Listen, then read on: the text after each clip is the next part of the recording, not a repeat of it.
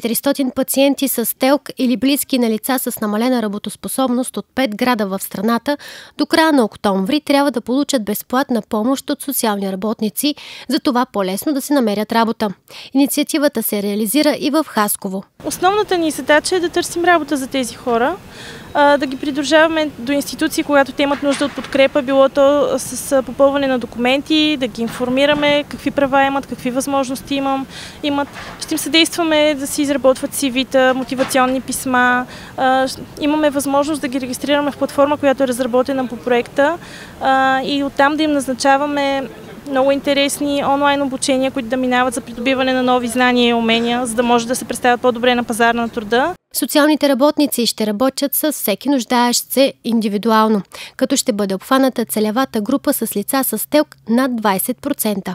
Търсим не само работа на хората с увреждания, но и техните близки. Защото в много от случаите, особено когато е с по-висок процент телково решение човека, има нужда от обгрижване и някой от семейството е заед с тези грижи и се затруднява и той с намирането на работа.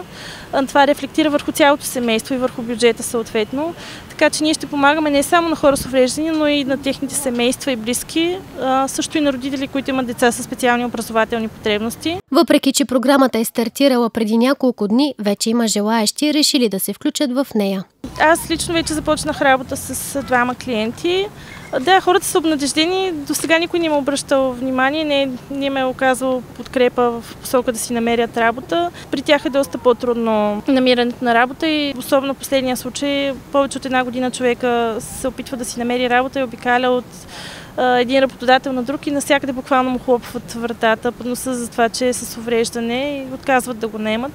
И така не беше много обнадежден след нашата среща. Има много голямо желание да работи. Просто не иска да стои вкъщи и да е затворен и да е изолиран.